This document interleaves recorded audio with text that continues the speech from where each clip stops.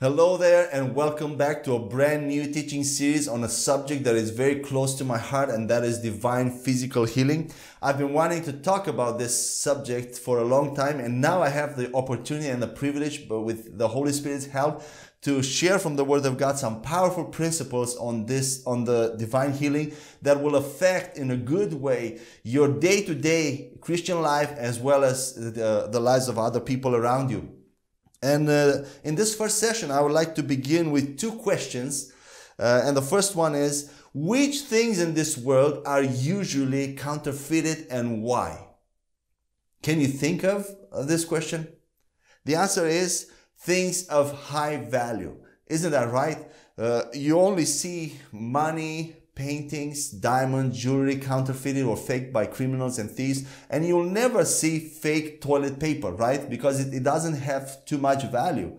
But only uh, those things of value are counterfeited. And the second question is, how are these things usually counterfeited? What is the best fake for an original? And the answer probably you, you know it or you saw it in movies the best counterfeit is with is something very similar and close to the original. The differences between the original and the counterfeit has have to be very subtle and difficult to spot by the regular eye. Uh, probably you've seen in movies paintings, for instance. When when uh, when someone wants to check the genuineness of that painting, they have to call a specialist to look very carefully to see that uh, to see if that painting is really the original or a counterfeit. And the same with jewelry and diamonds and with money. The best counterfeits are very close to original. In the same way, why did I ask with this? Why did I start with these two questions? Because in the same way, the devil counterfeits valuable principles from the Bible and he does that with very similar things, but very subtle and difficult to spot, but fake and unbiblical. And he managed to do that in many areas of Christian life, but mostly in three main areas. Uh, he has thrown a lot of confusion in the body of Christ, and by doing that, he managed to rob Christians of powerful benefits of, uh, of our inheritance in Jesus Christ that God has given to, to the new creation, and for which Jesus Christ has paid a high price at the cross. And those things, these three, these areas are divine physical healing, financial prosperity, and speaking in tongues. And in this series, we'll talk about divine physical healing.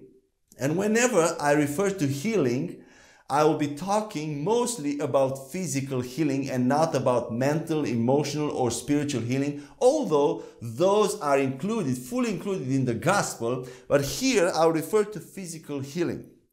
And I'll begin with two powerful statements. Actually, I'll begin with the end of this series uh, with two powerful statements that we are going to prove from the Bible throughout all these series. And these are the following. The divine, the divine physical healing is freely and fully included in the gospel and in Jesus' sacrifice on the cross, side by side with forgiveness of sins, justification, and sanctification.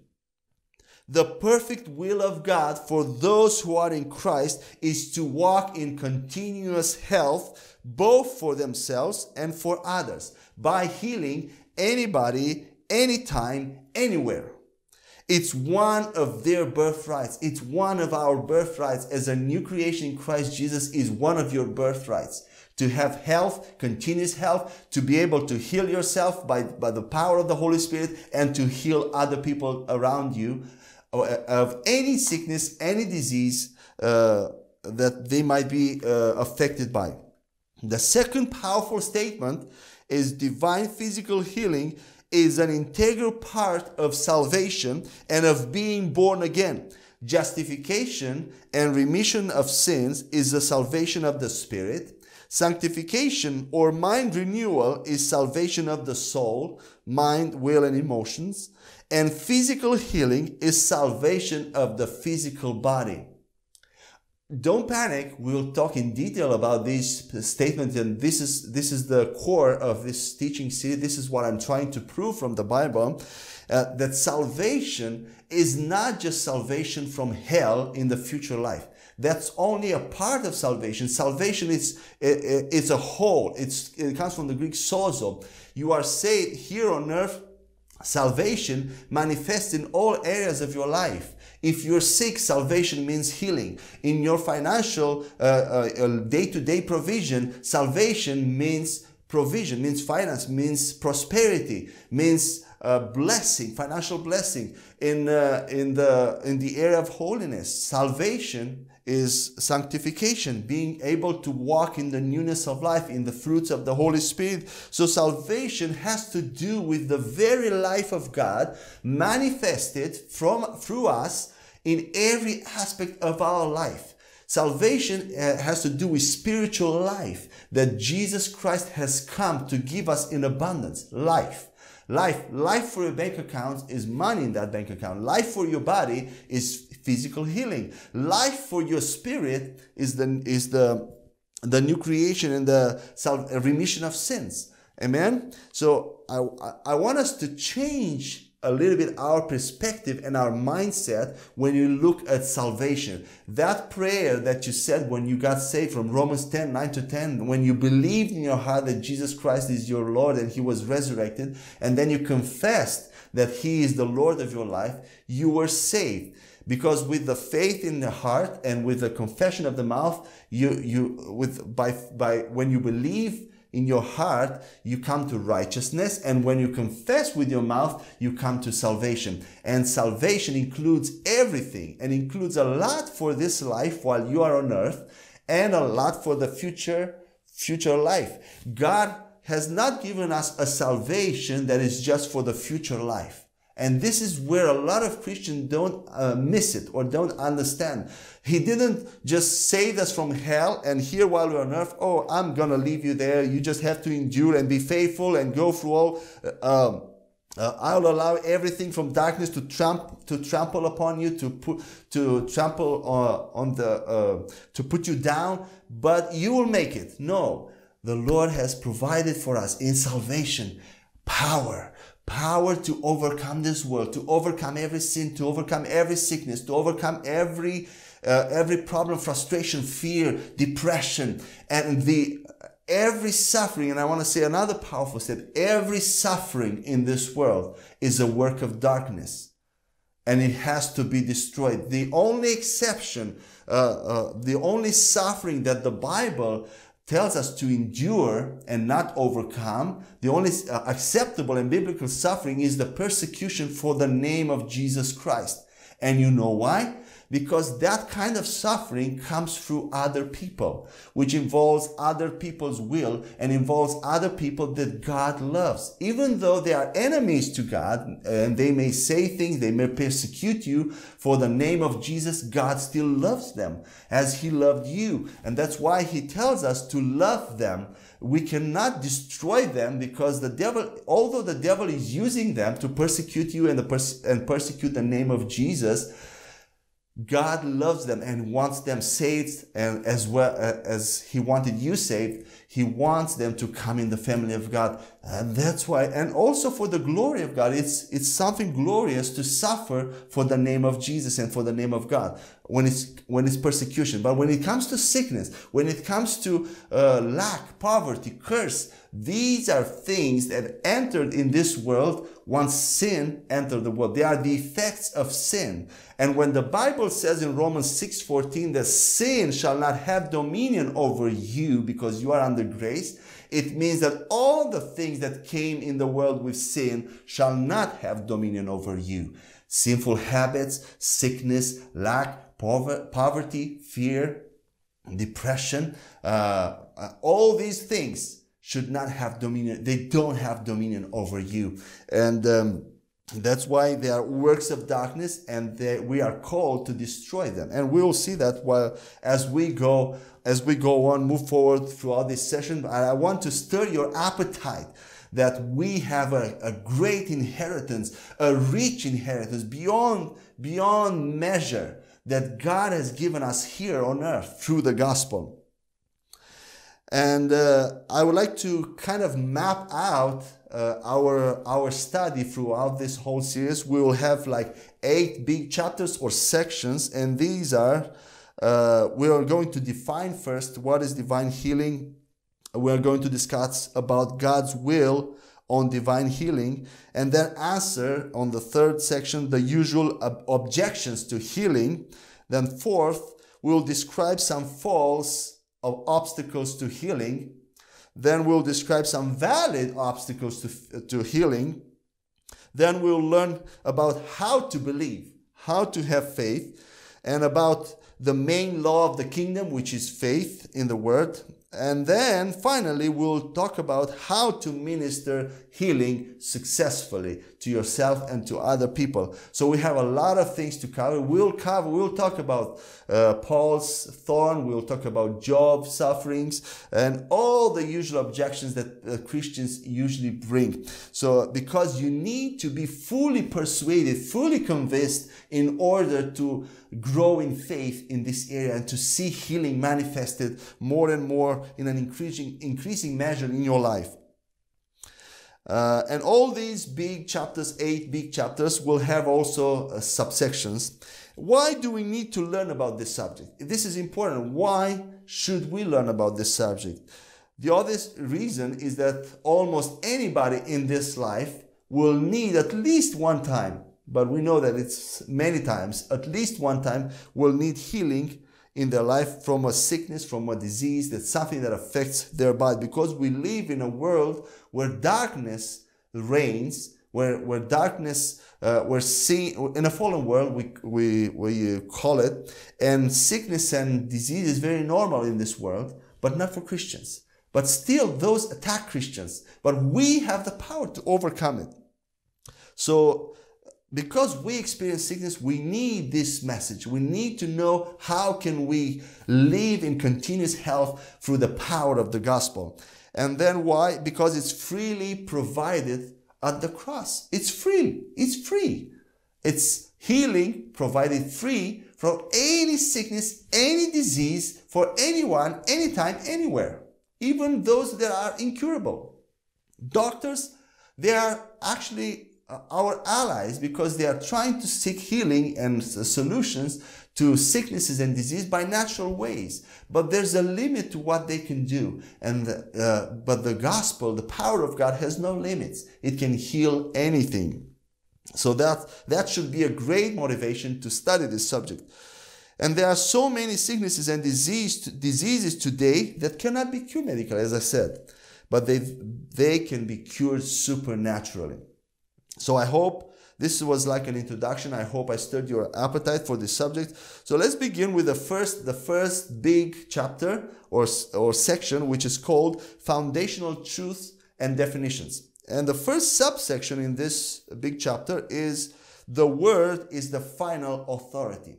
The Word of God is the final authority in any area of our lives, and we need to understand this thing and not waver uh, and back and forth from this because I want, I want us to understand that there will always be a conflict and a gap so or a tension between what the word of God says about your life and what you're supposed to experience and the actual reality or experience that you see, that you feel, that you hear. There will always be a conflict. And especially that is true in the area of healing. You know, in, when, when you're saved, it's very easy to believe. I mean, it's easier to believe because the moment of salvation, the salvation uh, for forgiveness of sins, has to do with something in the past and something in the future, mainly. And it's something that you don't have to see immediately. It has to do with the fact that Jesus died on the cross 2,000 years ago for all your sins. And it has to do with the future life that one day when Jesus comes again, you'll live with God. But the things that from the gospel that we have to believe here on this earth while we live here, especially in, on the area of healing, when we pray for someone, we need to see tangible results. And because we don't see them, then there's a conflict. We don't, sometimes, most of the time, we don't see them. Uh, the, uh, that creates a conflict, and we have a choice.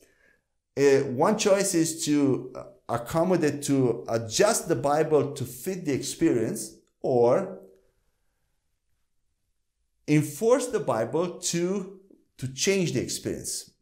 Enforce what the Bible says to change that experience. And uh, here it's a fight, it, uh, actually a fight of faith. And sadly, many Christians choose the other way, where they try to fit the Bible, to, to change the Bible, what the Lord says, to interpret verses that refer to physical healing, interpret them as referring to spiritual, emotional healing, something that you cannot see tangible. It's something very vague, ambiguous, and it, it happens in a long time, and it's easier to believe.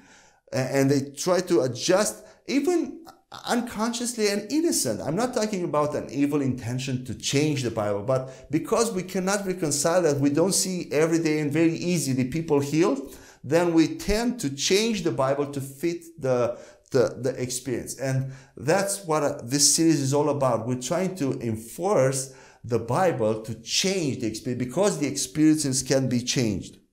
And I would like to, to begin by reading one uh, a first passage from Isaiah uh, 55 verse 11. I'll be reading from the New King James Version, but you can, you are free to use any other version that you have available. And if you have it opened opened uh, already, let's read it together. Isaiah 55 verse 11. So shall my word be that goes forth from my mouth. It shall not return to me void but it shall accomplish what I please, and it shall prosper in the thing for which I sent it. Can we read? This is so powerful. I will read it again. So shall my word be, says God, that goes forth from my mouth. It shall not return to me void, but it shall accomplish what I please, and it shall prosper in the thing for which I sent it. God always speaks on purpose. He never makes waste of words like us. We talk and talk and that and uh, and that and that and we waste so many words, but God never wastes his words and everything he says, he expects it to come to pass.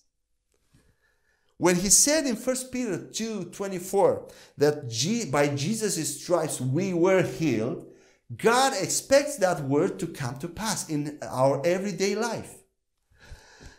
The Word of God will always work. This is a powerful thing. The Word of God, what God has said from His mouth, will always work. It will always be successful. It will always accomplish what it was sent for, and it will always prosper. Let's read another passage from Numbers chapter 23, verse 19. It says this God is not a man that he should lie, nor a son of man that he should repent. Has, has he said and will he not do? Ha, or has he spoken and will he not make it good? God never says something and then changes his mind like, like we do. Never. Once he said it, it's eternal and forever being fulfilled. There are things that God has spoken that they are eternal, forever being fulfilled. And he, God doesn't change his mind. And this is important. That's why I'm taking the time to lay this foundation about the Word of God, and we'll see about the new creation mindset. Let's read one more passage from Mark chapter 13, verse 31. I love the Word of God. Let's read it together. Heaven and earth will pass away, but my words will by no means pass away. The words that God speaks at one time remain forever in place they don't pass away. This is powerful. Heaven and earth will pass away, but God's words will never pass away. Psalm 119, verse 89. Forever, O Lord, your word is settled in heaven. I love this passage. I like this passage. The word of God is forever settled, decided, firm, established in the heavenly realm. There is no change or doubt about it. There is no angel or heavenly creature ever doubting that the word that God has said will not come to pass. What God said remains valid and works forever. Only we people have doubts that what God has said will come to pass or it will not come to pass. So what do we need to do? That word that is settled in heaven, we need to settle it on earth. It's not settled yet on earth. But we as Christians, as new creations, we need to enforce it and establish it on earth exactly as it is in heaven. This is what Jesus says in his prayer, in the Lord's Prayer, when Matthew, Matthew 6, verse 10. And also you, you find the same, um, the same, uh, the Lord's Prayer in Luke and Mark. But in Matthew 6, 10, Jesus prays like this. Your kingdom come, your will be done on earth as it is in heaven. So he calls that will of God, that the words that God has spoken and are settled in heaven to be established also on earth. Psalm 138 verse 2 is in the same context. I will worship toward your holy temple and praise your name for your loving kindness and your truth. For you have magnified your word above all your name. You know, a person's reputation is very much dependent on that person's word, on how much or how much that person keeps his or her word when he says something. In other words, your name is as good as how much you keep your word. Isn't that right? haven't you met people that said big things or promised a lot of things, but about whom you knew in that moment that they will not keep their promise? Their word meant nothing because most of the times they will not keep that their promise. And you, I don't like that those kind of people, and uh, probably you don't like them too because you cannot. They are not reliable. You cannot uh, rely on them on what they say. So that person's reputation is very much connected with how much they keep your, their word. And in the same way, God is God as much as he keeps his word. If God doesn't keep his word, what, what, what will happen? If, that, if God doesn't keep his word, he can he cannot be God anymore. He is not God anymore because that's what makes him God he must keep his word, not because we put him in a corner, not because we force him to do, but because he forced himself. When he said what he said, he forced, he uh, obligated himself to fulfill his word. Because when he says, if he doesn't do what he said, then his reputation is as a God is lowered. And God doesn't get to pick or choose. These are powerful principles. God doesn't get to pick or choose which words to keep or not. God had the right and the ability to pick the words that he wanted to say, but once he said them, he doesn't have the right to pick which words he will uphold or keep. He chooses his words very carefully and he only says that which he will do. Remember King Darius and Daniel in Daniel 6 if you want to read it, you can read the whole passage. How King Darius uh, gave a decree. He was deceived by some of his administrators to give a decree that no one will worship anyone else or anything else except the king for a, a period of time. And then when Daniel went and worshiped God the same way he did uh, three times a day, and those evil people brought Daniel to the king, and the, uh, they told to the king, You gave the decree that anyone who worships something else will be thrown in the lion's den. And when King Darius saw that, the Bible says that he was greatly distressed because he loved Daniel and he was planning to put him uh, as head over all uh, his kingdom, as the, uh, the administrator over all his kingdom. And he was greatly distressed that he had to throw Daniel in the lion's den because of his decree. And no matter how much he tried to save Daniel, he couldn't take back his decree, his word he uh, and he could not save Daniel from the lions den. He had to keep as a king that decree. Otherwise, he would undermine his authority.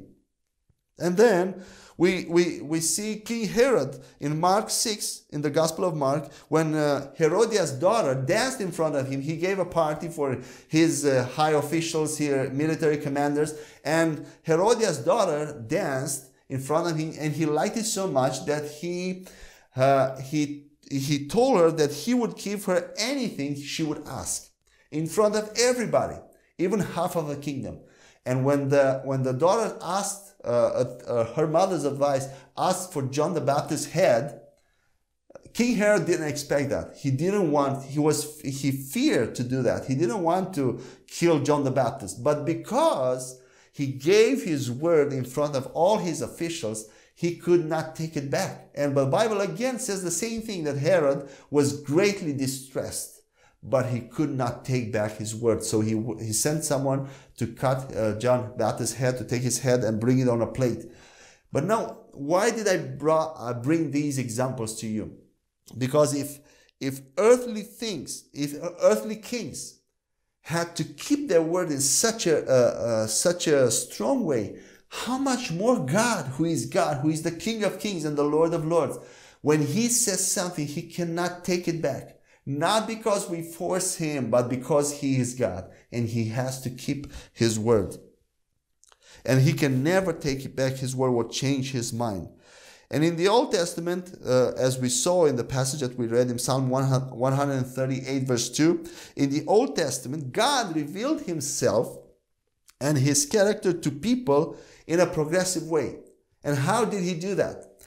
He revealed what he wanted to be to them on a regular basis or in their hour of need by using different names like Elohim, which means which means God, creator, mighty and strong. These na- this name was used at the creation when God created the world.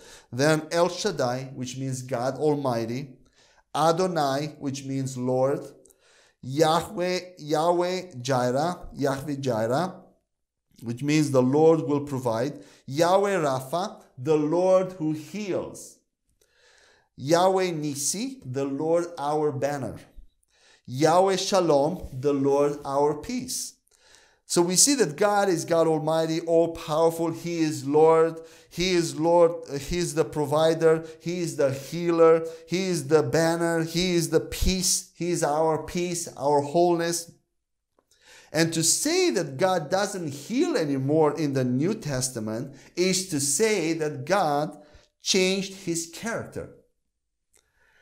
His word encapsulates all his name, all his character. So that's why the, the psalmist says that the word of God is magnified above all his names because all these names has uh, revealed only a part of God, only a, a, a facet, uh, one of, of his, one part of his nature, but not the whole thing. But the word of God encapsulates all these names. So if God healed in the Old Testament and he was the healer, he the word much more in the New Testament, he remains the healer and he wants to heal his people. And not only his people, even people from outside his family and his kingdom. His character is healing.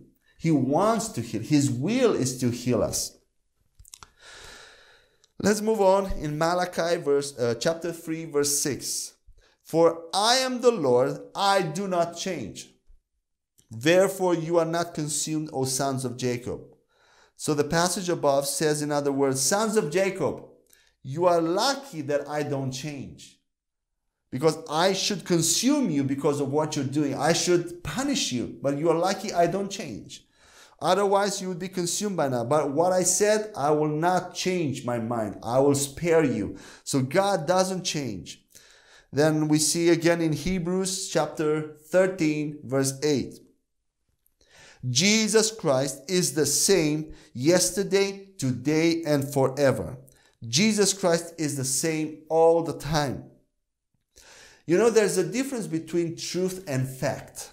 Facts can be seen by anybody, and uh, many times we confuse it with truth, but it's not, they are not one and the same thing. Truth is truth regardless of facts. And God's word is truth. A doctor can look at your report or your x-ray and give you and he can give you the facts. What he has seen with his natural eyes his natural perspective his natural mindset. But he might not have the truth the reality. And if you stand on the truth the facts will change. Now people want to take what their body tells them as truth rather than fact and facts and that is true especially in the area of sicknesses you want to take as truth, we take as truth what the body tells us. If you feel a headache, you feel something is wrong in your body, you tell it, you, you, you take it as truth, but it's just a fact that can change. It's changeable.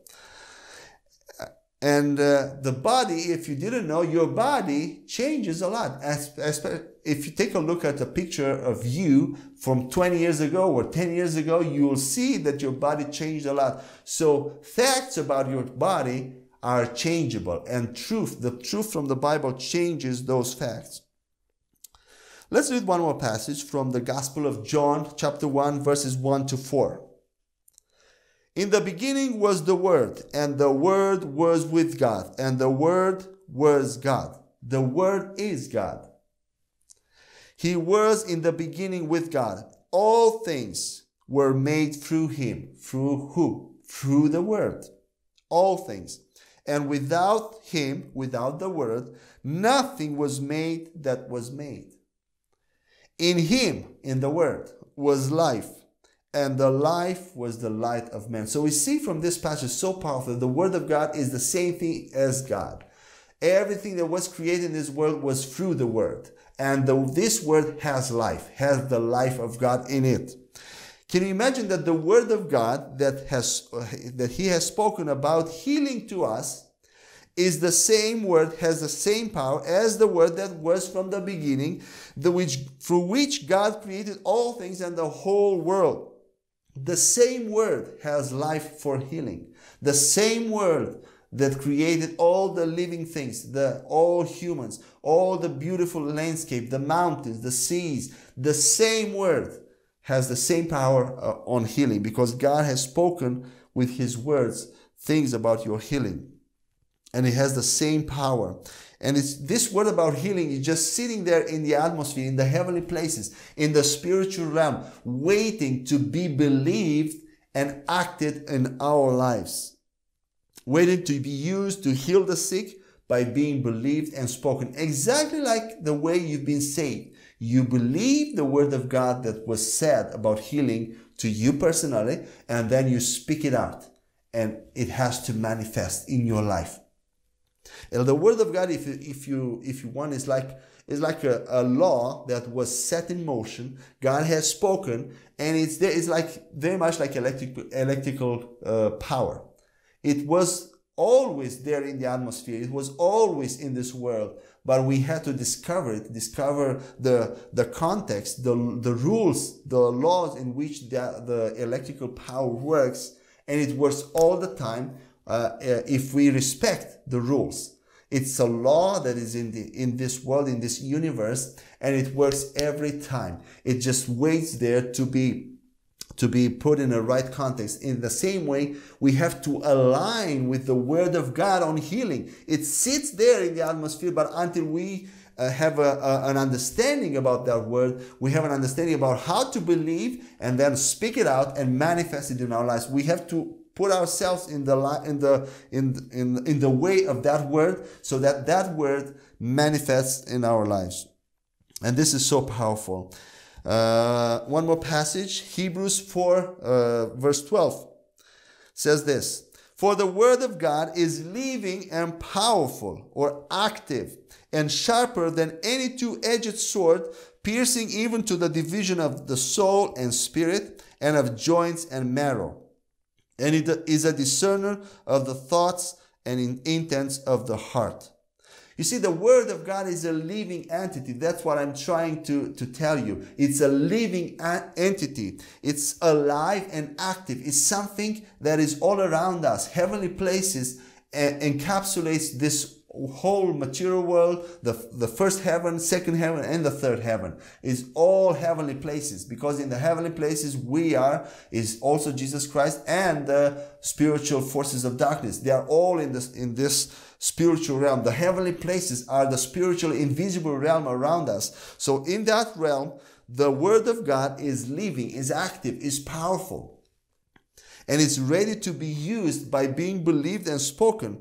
It's, and also the word of God is a powerful weapon, this passage says. It's more cutting than any two-edged sword. It's very cutting. You see, these simple words, God has given us such a power. These words are a weapon, a very effective weapon. You think that your words don't mean anything and they just speak it very lightly. Negative things, but they have power. They have, uh, uh, Caroline Leaf says that our words, Dr. Carolyn Leaf says that our words are uh, pockets of energy, of quantum energy, either positive or negative. When you speak, when someone speaks a negative thing uh, over you, it can affect your, it can affect your whole life your all your decisions. Is that right? If your parents spoke negative things over you, they have power and they follow you all your life sometimes until you you find them and you become aware of them and you destroy them by the power of Jesus Christ, by the power of the Holy Spirit.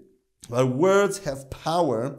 And these, the word of God is a weapon in our mouth. It has the power to cut sickness, poverty, lack, fear, uh, uh um, sinful habits and sinful uh, sinful habits, sinful actions uh, in the name of Jesus. This word is so powerful. And let's read one more passage from Matthew chapter 22, verse 29, where it says this Jesus answered and said to them, You are mistaken, not knowing the scriptures nor the power of God.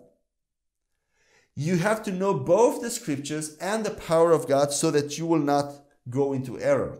Because if you know just the scriptures and you don't know the power, then you will err. In what way? You'll change the word of God to fit the experience because you have never known the power of God. So you'll do a, a whole new theology where healing, divine healing, will be kind of out of it. You will not be very much into it. You will not believe into it because you have not known the power of God. But if you know just the power of God, and you don't know the scripture, then again you might error because I've known so, and probably you've seen so many people that had a gift of healing, of faith, and they functioned for a while, but because they didn't have strong scripture, strong, strong understanding and systematic understanding of scriptures in other areas as well, they knew mostly God's, God's acts, God's deeds, but not his ways of doing things. So they couldn't sustain for a longer term that power, that gift. That's why it's very important to know both the scriptures and the power of God, especially in this area of healing. You need to know how what God has given us for sure. You need to be persuaded, convinced, so that you can easily believe, and so you can, uh, so that you will not be uh, wandered around and wavering in your faith. You have, you need to have a strong faith and and heal uh, and live in a continuous health for you and for others. Uh, and it's a repeatable fact. It's not something that happens from time to time when God wants. It depends a lot on your faith in the Word of God. God has set the Word in motion which heals anytime, anyone, anytime, anywhere. But it heals in the according to the power that works through you. And that power, according to the grace that is released through you, and that grace is released, the more you align yourself with that word of God, you believe it and you speak it, and it's part of your nature. That's the secret. That's how things work and, and are manifested in the area of healing. So I think I will, I will close here for today. So today we, we, we started the first chapter, Foundational Truth and Definitions and we spoke, we talked about uh, mainly the Word of God as the final authority in our lives. The Word of God has the final word to say, the final authority in our lives, and we need to make that strong in our hearts. Put that strong in our hearts because it will help us. This is one principle, one secret by which we will be able to see great revelations on the area of healing from the Word of God. Until the next session, I pray that God may bless you and um, help you see new things, open your eyes to more of the things of God and uh, uh, in this area and other areas and in all your life. May God bless you. Amen.